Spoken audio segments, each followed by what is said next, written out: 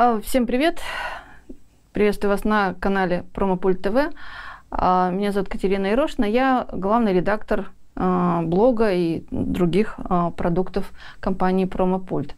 Я буду рассказывать длинную историю в нескольких частях про контент в коммуникациях, разные подходы, лайфхаки и все, что может пригодиться людям в работе. Вообще удивительно, как с контентом а, по-разному работают разные подразделения, и не хватает какой-то цельности в подходах. Ну, сначала самое, самое главное, а, не нужно думать, что контент может быть бесплатным. Даже если вы сидите и пишете сами, вы тратите рабочее время, соответственно, не делаете в это время другую работу, а отсюда опять тихонечко капают денежки. Ну и если где-то что-то стырить в интернете, то будет плохо, так не надо делать, карму не надо портить. Так вот, если вернуться, в принципе, к подходу к контенту, есть такая полезная книжка «Основы контентной стратегии». Ее издали в МИФе несколько лет назад. Маленькая там полезности, буквально страниц на 90. А, она помогает понять, а, что подходы к контенту надо объединять под одним зонтиком, под зонтиком бренда. То есть а, ни в коем случае не делить коммуникации а, одно подразделение занимается SMM, другое email-маркетингом, третье решила статьи писать, и каждый сам себе что-то там гребет. Это самая неправильная стратегия, которую только можно придумать. Вот. А при этом получается, что разным группам а, целевой аудитории нужны разные подходы к контенту. То есть здесь такое, такой баланс между тем, что, в принципе, бренд должен генерить контент где-то в рамках одной стратегии. С другой стороны, под разной целевой аудиторией этот контент должен быть немножечко разный. То есть есть общий вектор, и внутри этого вектора есть некоторые различия. Вот, наверное, об этом я поговорю в первой части. А, будет несколько частей про контент в коммуникациях. Давайте разбираться. Самая главная мантра, которую надо вешать на стенку а, пробивать себе в голове, просыпаться и повторять наизусть на любую единицу контента, которую, какой бы вы ни создавали, даже если это письмо внутри а, компании, нужно задавать себе вопросы. Кто это будет читать, почему это будут читать вообще, зачем они это дело откроют, и что вы с этого потом хотите получить. Потому что все-таки а, коммуникация это какой-то взаимообмен. Соответственно, вы даете какую-то информацию, запрос, полезность, еще что-то, хотите получить что-то взамен, либо действие, либо, опять же, какую-то информацию. Без этого никак. То есть это коммуникация, нужно обмениваться. Поэтому любая, любая единица контента, вплоть до, а, ну, когда Трамп твитит, да, вот единица контента твит Трампа – кто это будет читать, понятно кто. А все его подписчики просто потому, что они волнуются о политике. Почему они это будут читать? Потому что он президент, окей. Но помимо всего прочего, потому что все знают, что его твиты сильные и могут поменять судьбу мира, да, поэтому будут читать. Ну и что он с этого получает, вот это надо у него спросить, это интересно. Но в рамках компании, на самом деле, вот эта вот конструкция, она гораздо проще. И она определяет а, три главные штуки – во-первых, целевую аудиторию, кто это будет читать, на кого вы целитесь. А, это определяет интонацию, содержание, а, стилистику, все на свете, упаковку. А почему это будут читать? Это интересы целевой аудитории. То есть зачем вы, собственно говоря, это пишете и попадете ли вы в эти, в эти интересы, потому что вы можете написать совершенно шикарную, интересную, уникальную штуку, которая человеку будет банально не нужна. Ну, очень просто. Человек по утрам пьет кофе, днем пьет кофе, вечером пьет кофе. А я написала очень красивый пост про то, как делают жасминовый чай. Его, кстати, очень интересно делают. Жасмин там участвует очень своеобразно. То есть а, чай обычно высушивают вместе с а, жасмином, причем не смешивают, а жасминовые цветы отдельно, чай отдельно. Их даже могут несколько раз сменить, чтобы жасминовый аромат был очень сильный. А, ну, то есть много интересного, да. Но если вы постоянно пьете кофе и только кофе, и вас волнует только кофе, то вся эта история про жасмин, она вам только, ну, так, ну, ну, жасмин, окей, хорошо. Вот. И получится, что я очень постаралась, а вы никак не отреагировали. И если вы моя целевая аудитория, то я старалась зря. Вот. Ну и что вы с этого получите, это цель, собственно говоря, контента. То есть всегда зачем-то это надо делать, потому что, если вспомните, контент бесплатным не бывает, вы тратите деньги своей либо компании, а что-то вы с этого хотите получить. Если вы не понимаете, что вы хотите получить, то, наверное, стоит сесть и задуматься, а потом уже заниматься контентом. Вот, поэтому я вот этот слайд буду периодически показывать, потому что это самое главное, определяющее. Потом начинается стилистика, инфостиль, а, иллюстрации, все что угодно. Но сначала нужно понять, зачем вы это все делаете. Если этого не будет, то не будет ничего. Ну и есть еще несколько хороших шаблонов, которые помогают, в принципе, построить любое сообщение. Вот а, мы недавно делали статью про армейский подход в ВМС США, как они пишут письма, у них целый гайд про это. Вот этот кусочек оттуда очень хороший, правильный. Когда вы кому-то посылаете сообщение, человек сразу должен понять, о чем это, должен понять, что это для него. Мы должны рассказать, что там внутри, и обязательно не забыть call to action – что нужно сделать прямо сейчас. То есть если письмо информационное, значит, примите к сведению, достаточно. Если письмо требует а, действий, значит, оно вообще должно начинаться о том, что требуется действие, потом что там происходит и что надо сделать. А, пойди, завари чаю, для, занеси в соседнюю комнату. Ну, чай моя любимая тема, поэтому так, такие примеры приводить. Вот, то есть вот последняя вот эта строчка, что сделать вот прямо сейчас, она очень часто отсутствует. И тогда становится непонятно, зачем вы все это писали. Что вы от меня хотите? Вот. Ну и на, напоследок, так как это все-таки пирамида, ну, в основании уже можно заложить и написать что-нибудь очень подробное, детальное для тех, кому нужно действительно много информации. Ну, таких людей не так много. Еще один хороший подход, который помогает сочинять пресс-релизы, которые, может быть, кто-нибудь прочитает, а также новости, а, писать в соцсети и так далее. Вот эти вот, а, кто сделал, что сделал, где это произошло, когда это произошло, как он ее убил и почему это произошло в принципе. А, ответите на все эти вопросы, у вас получится хорошая исчерпывающая новость. Потом вы сократите до нескольких строчек и дадите ссылку на полную новость, и все будет хорошо. И это штука, которая бессмертна. Ее можно использовать во всех ситуациях. Даже когда вы приходите домой, рассказываете, что на вас только что чуть не наехала машина. Ну и начинаете рассказывать, кто, что, где, когда, как, почему. Почему может занять целый вечер в результате. Вот. Ну и еще один хороший подход, про который я рассказывала, по-моему, в одном из э, своих роликов, это, собственно, продажа продукта. Об этом тоже на, надо думать, помнить и делать. Вот. А, здесь тоже есть такая пирамида. У каждого продукта есть mm-hmm. свойства, преимущества и ценность. Свойства – это его физические а, либо виртуальные характеристики. То есть вы рассказываете, что термобелье состоит из шерсти мериноса и специальных термонитей, которые а, обеспечивают влагоотведение, влагопоглощение, что там они обеспечивают. Вот. Это свойство. если вы просто напишете, что мы продаем термобелье из шерсти мериносов и а, как, каких-то хитрых термонитей, на вас человек посмотрит, скажет, ну классно, да, и отойдет в сторону. Вот. После этого нужно взять преимущество. Преимущество термобелья состоит в том, что а, оно не позволяет вам вспотеть и замерзнуть. То есть оно очень быстро отводит влагу, и, соответственно, а, вы не успеваете замерзнуть и не успеваете перегреться, термобелье все это дело регулирует. И это тоже хорошо, но это можно остановиться и рассказать, что вот мы вам продаем термобелье, которое отлично регулирует а, теплообмен и это хорошо и здорово. Но если вернуться к тому, кто это будет читать и зачем, то можно вынести ценности, причем ценности будут разные, потому что мы возьмем, допустим, маленький а, сегмент целевой аудитории, это девушки, которые занимаются фитнесом. И термобелье, очевидно, нужно им для того, чтобы успешно тренироваться и не обливаться потом в зале. И вы говорите, что мы предлагаем термобелье, в нем э, в составе есть шерсть, меринос и все такое, а начинаем с того, что теперь ваши тренировки будут ну, вдвое легче, потому что просто вы будете меньше потеть, ну и далее красивая картинка девушки и так далее. Вот. А с другой стороны, если взять другую целевую аудиторию, то у нас свойства будут те же, преимущества будут те же, ценность будет другая.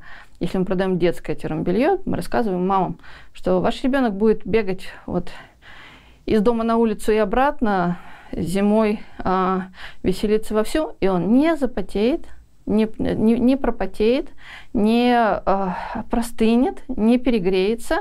И, собственно говоря, мы вам продаем здоровье вашего ребенка. Ура, все. Обрадовать ценность получается другая. Вот такие пирамидки имеет смысл строить для любого продукта, поворачивать с разных сторон.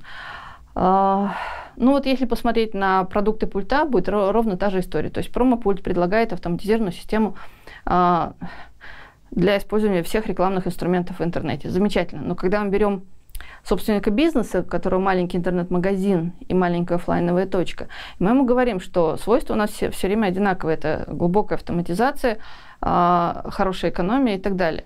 Э, преимущества, мы начинаем перечислять, а, какими инструментами можно пользоваться. Но когда мы говорим о ценности, мы говорим, вы не переплачиваете агентством, все у вас под контролем, вы делаете это быстро, не надо глубоко погружаться, мы научим, покажем и заставим, но я шучу. Вот. И, то есть мы рассказываем, как самостоятельно справляться со всем интернет-маркетингом с помощью промпульта, потому что этому человеку это нужно. Он сам справляется, ему нужно экономить, ему не хочется копаться, как там работает этот контекст, ему нужно нажать три кнопки и что-то получить. Мы ему это предлагаем. Но у нас есть другая целевая аудитория, это профессионалы которые, у которых совсем другие интересы. То есть они тоже понимают, что им нужна глубокая автоматизация, снижение затрат и вот это вот все, что умеет делать промопульт. Но ценности у них другие. Мы им говорим, что вы можете ввести в одном аккаунте несколько проектов, вы можете легко сдавать отчеты своим клиентам, вы можете набрать кучу заказов, перепродавать наши услуги и получать с этого бонусы. А еще у нас есть партнерская программа, у нас есть реферальная программа и так далее. Мы рассказываем совсем другие вещи, потому что это другая целевая аудитория, опираясь на те же самые свойства и на те же самые преимущества. Вот такие пирамиды надо строить. В результате э, вы разделите для себя кон- контент, э, содержание контента распределится и сгруппируется по разным сегментам целевой аудитории. И получится, ну, наверное, что-то хорошее. Вот. Ну и, в принципе, всем этим можно пользоваться, несмотря на то, что всем этим шаблонам и историям э, и схемам уже очень много лет. Мы продолжаем говорить языком, и слушать ушами. И от того, что у нас в речи появляются какие-то новые слова, это не значит, что там как бы отменились все правила коммуникации. То есть шаблонами пользоваться спокойненько можно. Если это помогает делать уверенно и спокойно свою работу, почему бы нет. А, поговорим про корпоративный контент. То есть контент, который производит компания а, вовне и внутри себя.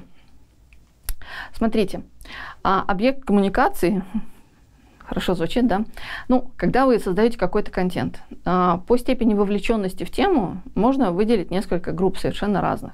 Например, когда вы пишете коллегам внутри подразделения, например, создаете а, внутреннюю вики, базу знаний, а, понятно, что вы там можете писать все на уровне чуть ли не профессионального жаргона.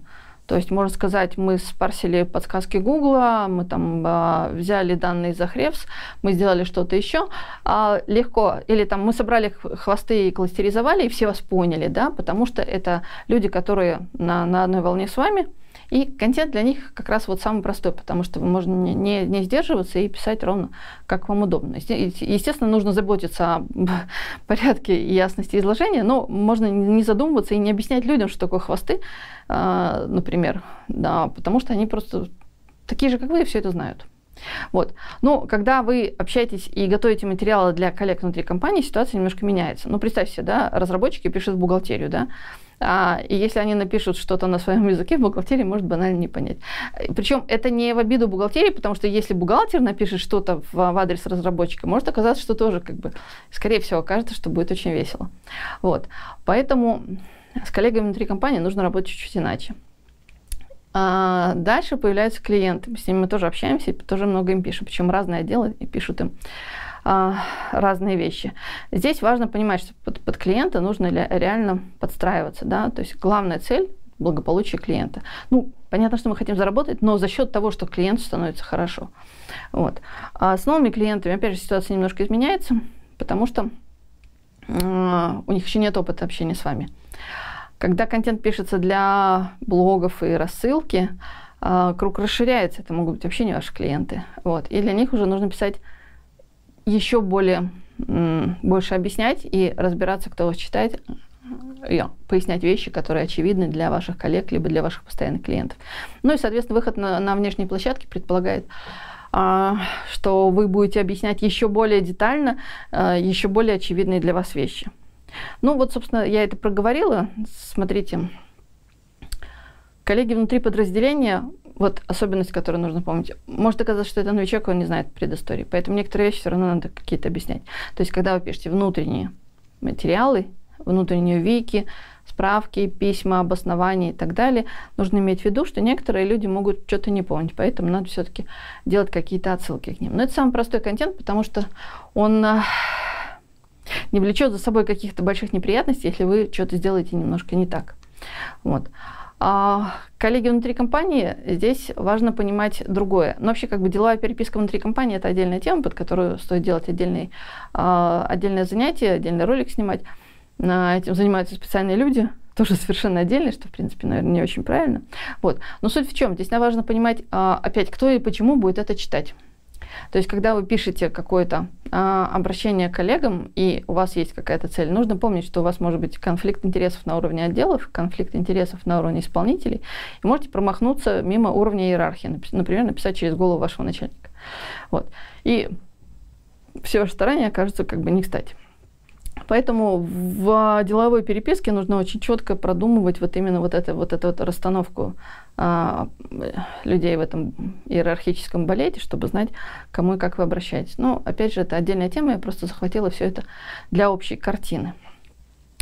Когда вы общаетесь с постоянными клиентами, с ними а, чаще всего общаются либо а, аккаунты, либо, а, либо служба поддержки, а, либо им пишется отдельная рассылка, допустим, для постоянных клиентов, такое тоже бывает. Ну, понятно. Ориентир, самое главное, всегда помнить, что наша задача сделать все для вас, для постоянного клиента. Причем нужно помнить, что у клиентов тоже есть свои уровни иерархии. Есть а, руководитель, начальник, хозяин, который а, платит вам деньги, а есть исполнитель, который, собственно, эти деньги тратит и работает с вами. Соответственно, обращение к ним, оно должно быть немножечко разное, потому что а, ценностями бизнеса оперирует обычно руководитель, а исполнитель на ценности бизнеса так немножко может слегка забить. А, это очень сильно влияет на коммуникации как раз менеджеров, аккаунтов с представителем клиента. Об этом нужно думать и, и понимать. А, еще одна интересная штука, которую полезно знать, это вот эта проблема ушедшего менеджера, когда кто-то увольняется, начинаются очень сильные переменные пертурбации, вот в это время контент, да, мы возвращаемся к контенту, он должен быть очень детальным и очень мягко вести к тому, что как бы человек ушел, но все делалось правильно и так далее. Вот. Но самое важное, клиентам, в принципе, без разницы, что происходит у вас внутри. Вот а, я такие ошибки периодически встречаю в я веду несколько занятий по контенту в школе email-маркетинга и часто читаю там примеры писем. Люди пишут, простите нас, пожалуйста, у нас тут случилась неприятность, у нас отключали телеф... телефон и интернет, умерла бабушка, поэтому мы вам неделю не писали, а теперь мы вам пишем, и вот вам за это наш бонус в качестве извинения. Ну, при этом человек, который получает это письмо, в принципе, может вообще не помнить, что он подписался на эту расписку, на, на эту рассылку. Он может... А да ему вообще все равно на самом деле. И э, что там отключали, что там происходило. Не, бонус он возьмет, конечно, да. Но для него это не будет таким э, причиной для волнений. А вот если написать, что вот вы упустили нашу шикарную распродажу, хотя вы оставляли у нас заявку на вот этот продукт, вот тут он поднимется и, и заинтересуется, что это вы мне не сказали. Вот. То есть нужно помнить все время о том, что внутренние проблемы компании, если они не отражаются на судьбе клиента, лучше про них вообще не говорить. Кого это волнует? То, что там вы выросли, у вас новый офис, вы переехали, вы поставили кондиционер, все это можно как бы рассказывать коллегам, не надо рассказывать это клиентам. Клиентам интересно то, что касается их кошелька, их судьбы, их клиентов и так далее. Вот. Ну и опять же отдельный раздел это а, работа с неудовлетворенным клиентом. Это опять же тема для целого занятия. Вот. Работа с новыми клиентами может немножко отличаться с точки зрения содержания контента. А, почему? Потому что на клиенты приходят на определенные обещания. Им что-то продали, они приходят получить то, за что они заплатили. Причем они не очень хорошо знают, как во всем этом ориентироваться. Вот в этих случаях очень хорошо помогают пошаговые гайды и всякие руководства, объяснения, как пройти, сколько кнопочек нажать, что означает вот эта галочка и так далее. Вот. При этом а, может оказаться, что клиенты имели негативный опыт работы с другим похожим сервисом, и это иногда сказывается на, и, и происходит перенос на на новый сервис. Поэтому, если есть возможность и политика компании позволяет, можно говорить о том, что в отличие от нашего конкурента, мы здесь делаем вот так. Иногда это может сработать в большой хороший плюс. Вот. Но при этом новый клиент – человек настороженный, потому что он только-только дал вам денег, и не очень уверен, что он знает, что получит. Вот. И здесь нужно аккуратненько а, вы объяснять, рассказывать. И иногда стоит вот просто буквально разжевать на пальцах то, что вам уже давно надоело повторять, но этот клиент новый, он этого еще ничего не видел, ему это реально надо. Это такая штука, я не буду говорить, казус альпиниста. Очень полезная для понимания, что и зачем вы делаете тоже. Вот. А есть еще одна, один сегмент целевой аудитории. Он есть практически у любой компании, которая а, пишет хотя бы иногда в блог и ведет рассылку. Это, собственно говоря, читатели блога и рассылки. Вот. Анекдот в том, что это, скорее всего, могут быть не ваши клиенты. То есть человек по, заходит в блог просто из поиска, либо просто подписался на вашу рассылку, не является клиентом и так далее. Именно поэтому в блог и рассылку рассматривают еще и как потенци... источник потенциальных клиентов. Поэтому в блоге и рассылке периодически надо продавать что-нибудь. Но не слишком навязчиво, потому что не факт, что люди будут готовы покупать. Вот. При этом а, здесь очень большая разбежка в уровне знаний и опыта.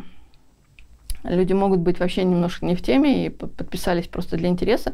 Но так, допустим, я подписалась на очень много каналов и рассылок про UX, потому что я немножко разобралась в UX, позанималась, и мне кажется, что я там что-то понимаю, но я понимаю, что я не понимаю процентов 90. То есть все остальное очень интересно для моего развития и так далее. Но я вот у них на уровне как бы вот плинтуса, потому что вот то, что они рассказывают, мне так, о, классно, круто, но я это не, не буду сейчас применять. Вот. И э, такие ситуации случаются регулярно, особенно ярко это проявляется, когда вы читаете вебинар, рассказываете много сложных интересных вещей, а в, в комментариях приходят люди и спрашивают, скажите, а как создать вообще рекламную кампанию в контексте? Вот, ну и после этого. Вот. Поэтому нужно помнить, что читатели блога чаще всего большой процент окажется немножко не в теме. Но такие вещи надо изучать. То есть стоит опросить а, читателей блога попытаться периодически делать какие-то опросы, либо смотреть вообще, что лучше заходит и так далее, чтобы найти а, баланс между все-таки просвещением и рассказом интересных вещей и рассказом банальностей, которые тоже людям нужны. Ну, можно просто смотреть на посещаемость, на реакцию на все статьи, на что реагируют лучше. Если у вас лучше реагируют на простые пошаговые гайды, то, то нужно, можно заключить, что ваша аудитория не так профессионально, как вам бы хотелось. А вот если к вам в комменты про какой-нибудь парсинг сайтов приходят люди, начинают комментировать какие-то действия и говорить, что вот здесь можно было использовать другой инструмент, что-то сделать, если таких комментариев много, можно заключить, что ваша аудитория высокопрофессиональная, для них можно выкатывать какие-то сложные штуки, можно писать реже, но глубже. То есть за читателями блога надо следить. Надо смотреть, что они, в принципе, лайкают, на что они смотрят, а, что им больше нравится – ну вот у нас недавно по, после редизайна блога добавились еще возможности лайкать статью, то есть не, не социальные кнопки, а именно на статью плюсик поставить. Вот. Ну я смотрю, на какие статьи пропорции между просмотрами и плюсами получше, вот, и получается, что это наша тематика. В целом все равно все любят тексты про соцсети. Ничего ты с этим не сделаешь. Вот. Ну и в блоге, и в рассылке не надо забывать продавать, потому что люди все-таки лояльны, им наход... не, не жаль заплатить своим временем и почитать ваши тексты, значит, наверное, они ровно так же согласятся посмотреть, а что у вас там нового. Может быть, у вас есть какой-то модуль, которого им не хватает. Вот. Ну и самая сложная аудитория – это читатели на внешних площадках. В отличие от всех, всех остальных, это может быть э, радикально чужая аудитория. То есть вы можете в нее банально не попасть, тогда будет вообще просто беда. Вот. А можете наоборот прийти туда, где вы считаете, что аудитории нету, а окажется, что люди нормально вас воспринимают. А подбор площадок это совершенно отдельная тема. Я о ней немножко буду говорить в следующих частях. Ну, суть в том, что нужно разобраться в вашей целевой аудитории. Потому что а, когда мы говорим, это все люди, у которых э, доход выше-ниже, и они живут там в Московской области и так далее, это все очень такая фикция. Вот если мы знаем, что там а, много автомобилистов, например, вашей аудитории, каким-то образом узнали, да, то это значит, что вы одну из внешних площадок можете протестировать, это какие-то автосайты подстроить ваш офер под а, владельцев автомобилей, а, подобрать аргументы, которые помогут их убедить, подобрать историю, которая их завлечет, и потестить, что они, в принципе, могут, как они могут отреагировать. Ну, автомобилист условно. Э, можно смотреть площадки не обязательно глубоко тематические. Ну и, соответственно, разница в отклике тоже будет. Вот, соответственно, с этими людьми сложнее всего коммуницировать э, и сложнее всего готовить контент, именно потому что вы очень мало знаете о том, кто, собственно, будет это читать. Поэтому на площадку нужно идти, смотреть, смотреть, что читают больше, что комментят, как комментят, если вообще комментарии есть, э, на что люди реагируют, на что они вообще не смотрят, в каких интонациях пишется и так далее. Э, без этого э, внешний контент может превратиться в тыкву. Все будет плохо. Вот. А если канал один, вот как наш любимый VC, да, vc.ru, бывший, кто, кто-нибудь помнит вообще, что это был Цукерберг позвонит, да, сейчас это как-то звучит как вообще какая-то жуткая ирония, вот. А VC, он э, его читают все, кто в digital е, да, его читает очень много а, разных, на самом деле, людей, которые все имеют отношение к digital у, и чтобы там выделить свою аудиторию, а, можно сделать это просто с помощью картинки, заголовка и анонса, как обычно. То есть картинка, заголовок и анонс могут вам привести очень конкретную целевую аудиторию. То есть те, кто не, не включится, пойдут, э, пойдут мимо. Ну вот как здесь. Я часто буду приводить пример э, статьи компании MAP, просто потому что я знаю кухню изнутри, и это небольшая компания, на примере которой можно ну, реально научиться, как что-то делать. Потому что, э, если говорить о компании Промпульт, э, мы я могу рассказывать, как мы это делаем, и буду рассказывать, как мы это делаем, но у нас а, бюджеты и стратегические подходы а, крупной компании, ну, мы крупные, вот, поэтому это масштабируется на небольшой бизнес, наверное, чуточку хуже. Вот. А здесь пример бизнеса небольшого, у которого сразу все э, видно на пальцах и отщелкивает моментально. Поэтому я вот буду при, при, приводить примеры пульта и вот компания MAP, в я знаю, откуда что берется. Вот. Ну и вот смотрите, здесь сегментация проведена очень четко. А, люди, которые в принципе в состоянии отреагировать на Google Tag Manager, их не так много. И среди огромной аудитории VC мы сразу выделяем людей, которые в, будут читать и поймут, о чем будет речь. Вот и все. То есть использование всякого рода профессиональных слов, жаргона, сокращений, либо использование отсылок к персонажам из какой-то узкой сферы помогает сегментировать аудиторию. Это уже это просто аксиома. Вот. Ну и плюс здесь добавилась Ягла. Ягла, э, не все пользуются этим сервисом, соответственно, мы опять сегментируем аудиторию. То есть а, здесь добавляется, как заменить Яглу с помощью э, Google Tag Manager просто быстро и бесплатно.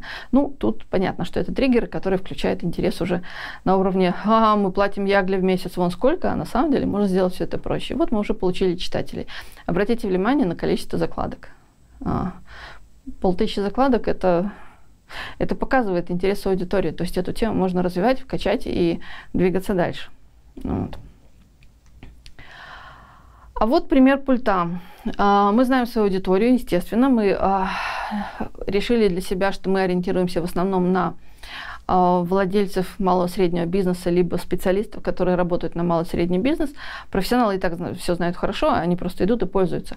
Вот. А людям, которые как раз не очень любят погружаться в детали, но при этом хотели бы, чтобы им помогли быстро недорого и эффективно что-то сделать, вот для них мы ведем блог, рассказываем, и э, по, по статистике я вижу, что отдача вполне нормальная, то есть мы попали в аудиторию. Ну и посмотрите, вот я специально рамочкой выделила э, маркеры, которые включают интерес определенного круга читателей. Вот, допустим, посередине парсинг любого сайта, одна из популярных статей у нас. Э, скриминг, э, фрог, SEO, спайдер. Это маркер, который четко включает SEOшника, SEOшника, у которого есть деньги, потому что это платный сервис, и SEOшника, который а, глубоко копает. Все, человек пошел читать. Но при этом для чайников это немножко такая игра, потому что получается, что ты с одной стороны делаешь это все легко и просто, с другой стороны у тебя должны быть деньги на эту, на, на эту программу. И такая аудитория достаточно большая. Посмотрите, тут 7 тысяч просмотров. Это хорошие цифры для нашего небольшого блога. А есть статьи попроще, допустим, топ поиска по картинкам. Как, как попасть в топ поиска по картинкам? Понятно, что аудитория здесь очень широкая. То есть все, все кого, кого, кому хочется свои товары, э, изображения продвинуть в топ, они пошли читать. И посмотрите, здесь тоже очень неплохая статистика, и эта статья продолжает набирать популярность. Дальше смотрите, а, советую по подбору кликабельных изображений для объявлений RCA и КМС. Очень четкие маркеры RCI и КМС. Кто не реагирует на эти аббревиатуры, ну, значит, ему не надо просто читать. И так далее. Вот, допустим, про э, как порадовать клиента внезапным апдейтом, четко ориентировано на управленцев. Потому что как порадовать клиента, допустим, нормальному человеку, как бы ему, его это не, не заботит. Человек приходит, работает от, от и до, да. А менеджер, аккаунт, руководитель общается с клиентом, соответственно, как рассказать, чтобы заказчик не уволил агентство, это лексика, а, и эти слова подразумевают, что хорошо бы это почитать а, владельцам, руководителям агентства и а, управленцам. Соответственно, они это идут читать. То есть каждое слово в заголовке, по сути, должно помогать вам либо сегментировать аудиторию, либо привлечь ее внимание, либо пообещать а, и заставить кликнуть. То есть вся конструкция заголовка, лида и картинки – это инструмент манипуляции. Вы говорите, вот ты, иди сюда, читай статью срочно. Если вы этого не говорите с помощью а, картинки, заголовка или да, то количество читателей у вас будет, ну, какое-то. Читателям надо манипулировать, это честно. Это все манипулируют, ничего не сделаешь с этим. Даже Библия, по-моему. Ну так, если закопаться. Я упоминала уже казус альпиниста, очень полезная штука, которую стоит однажды для себя понять, после этого немножко успокоиться. А, откуда я на него набрела? Был момент, когда я очень много читала и слушала вебинаров и а, статей и книжки читала про продающие тексты. И когда вот начитываешься в теме, ну это было достаточно давно, сейчас я этим как бы увлекаюсь гораздо меньше. Вот, когда начитываешься в теме, начинаешь видеть повторы. То есть один и тот же спикер выходит на сцену и рассказывает примерно одно и то же. Сегодня рассказывает, через неделю рассказывает, через месяц рассказывает, и все время примерно одно и то же. И это начинает бесить, потому что ну, вы же копаете тему, разбираетесь, и вот попадается все время одно и то же.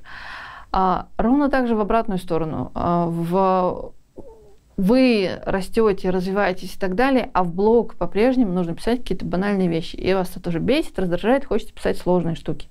Сложные штуки можно делать, имеет смысл. Но на самом деле, ну представьте, действительно, вы растете, да? А в это время внизу, в долине, подрастает поколение, которое на горы только еще то, то начинает смотреть.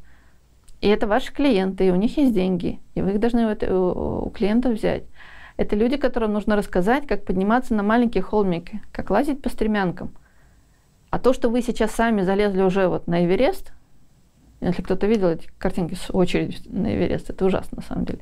Вот. Ну, куда-то еще там на хорошие горы. То, что вы туда залезли, это хорошо для вас, но давайте оглянемся назад. Люди, которые должны принести вам денег, они вот там внизу, им нужно рассказывать про простые вещи, постепенно их растить, и рассказывать и так далее, но должны быть вот и банальности, то есть эти банальности тоже нужно говорить. Потому что там вверху а, за облачной высоты, может быть, там есть какие-то суперклиенты, но может быть и нет, а вот эти вот люди, они вот, им, с ними нужно работать. То есть, скорее всего, и это больное место для многих редакторов, когда они планируют блог и думают, о чем писать, а, Профессионалам, может быть, совсем уже неинтересно примерно то, что нужно читателям и пользователям. И новые люди, которые не знают банальных вещей, они рождаются каждый день, они приходят в эту сферу и продолжают работать, и вам нужно по-прежнему снова и снова все им рассказывать. И вот когда вы осознаете, что люди, которые вас читают, и ваши профессиональные интересы, э, это немножко из разных сфер, примите это и поймете, что это нормально и хорошо, и вы помогаете этим людям вырасти и добраться до тех высот, до которых вы добрались, после этого начинаешь строить план, все контент-планы спокойно, без нервов и без конфликта вот этого, что ну, мы-то уже там давно совсем о другом вернулись.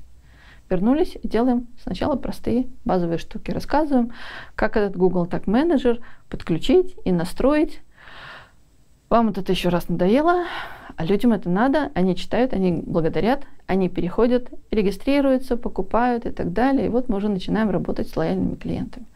Вот такой вот интересный казус альпиниста.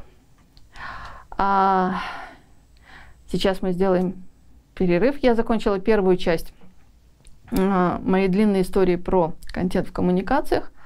А, оставайтесь с нами. На канале Промопульт ТВ появится еще несколько частей которых я буду рассказывать более детально про контент по-прежнему в коммуникациях.